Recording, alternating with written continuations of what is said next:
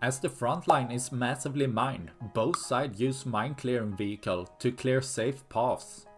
One of these on Russia's side is the UR-77 Meteorit, which can send two mine clearing line charges. These can clear a path of 6 meter in width and 90 meter in length, giving quickly a safe path for vehicles.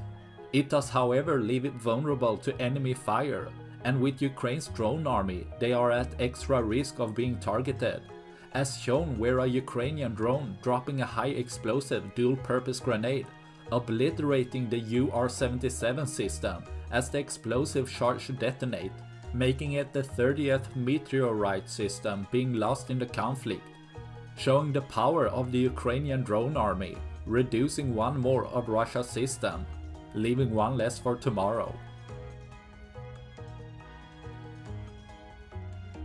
That's all I had for this video. Please like and subscribe for more. Thanks for watching. Bye.